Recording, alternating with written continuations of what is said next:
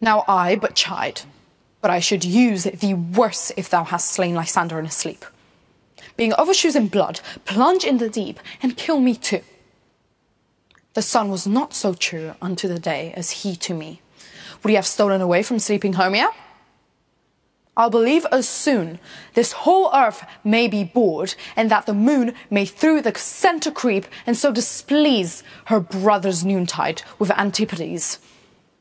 It cannot be, but thou hast murdered him. So should a murderer look, so dead, so grim.